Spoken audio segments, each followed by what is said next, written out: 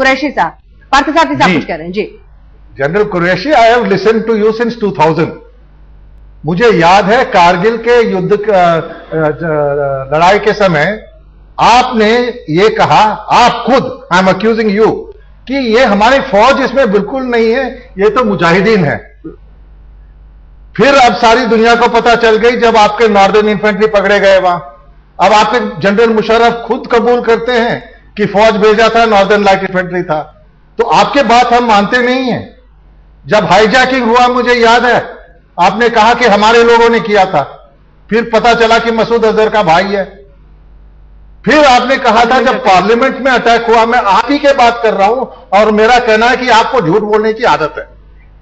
जब पार्लियामेंट पर अटैक हुआ तो आपने कहा they Indians did this themselves फिर मैं देखो, आपको प्रिसाइसली बताता हूँ। मार्च 14 2004 जनरल जावेद ये जो जनरल थे आपके पूर्व आईएसआई के अध्यक्ष ISI chief Javed Ashraf Qazi. Javed Nasir.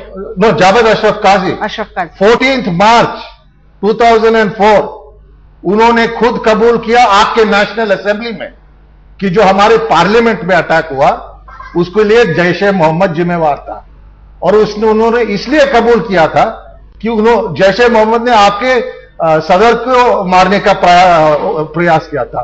तो आपके बात कोई इंडिया में मानेगा नहीं क्योंकि झूठ बोला आपने जवाब के बारे में झूठ बोला आपने पार्लियामेंट अटैक के बारे में झूठ बोला आपने हाईजैकिंग के बारे में। इसका जवाब लेते हैं कुरैशी साहब एक जाइए आप इधर ही हाँ। इधर ही रुक जाइए। पहली बात तो साहब, जो आप कह रहे हैं जो आप टाइम और डेट कोट कर रहे हैं वो बिल्कुल गलत बात कह रहे हैं। अच्छा। और झूठ बोलने की अगर हम बात करें आपने झूठ बोला कि हम इस पाकिस्तान में इंडिया तो कुछ नहीं कर रहा है। मैं उसका वाहिनी इंडियन मैं देश आपसे- में आपने पाकिस्तान में भेज दिए। आपने झूठ बोला।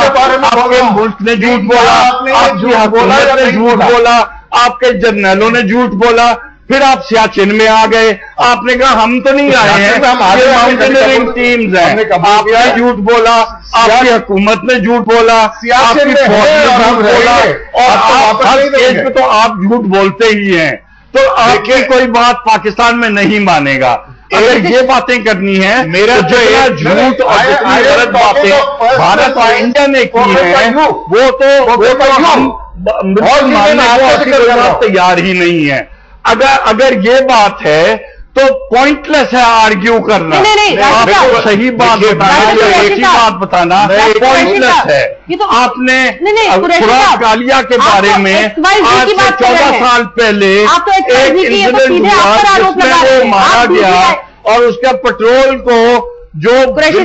उधर के भेड़िए और स्नो लेपर्ड होते हैं और चीलें होती हैं उन्होंने उनकी बॉडीज को पैक किया आपके डीजीएमओ ने हमारे डीजीएमओ से बात की और उसने मान ली बात।